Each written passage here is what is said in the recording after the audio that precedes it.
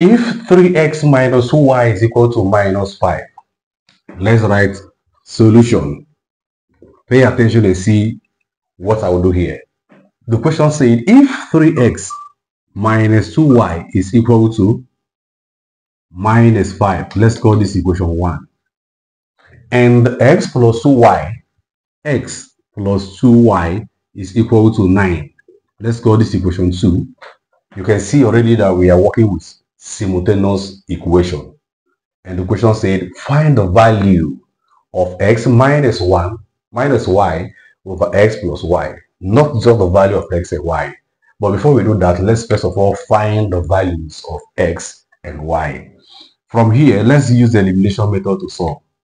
We add this and this. 3x plus x is 4x.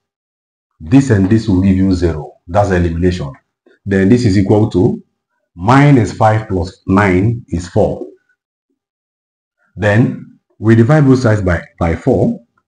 Divide this 1 by 4 so that we have something of this nature 1 1 then our x is equal to what 1 if we have the value of x as equal to 1 let's substitute the value of x in either of these equations either equation 1 or equation 2 let's work for, with equation 2 from equation 2 we have x is here. We write 1 plus 2y is equal to what?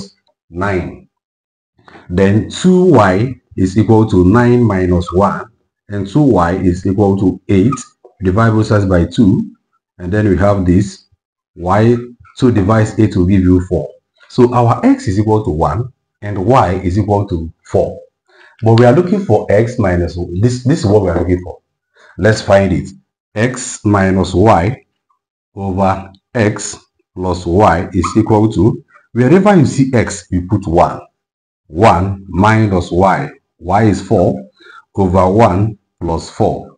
This is equal to 1 minus 4 is minus 3. 1 plus 4 is 5. So the final answer to this question is minus 3 over 5. Thank you.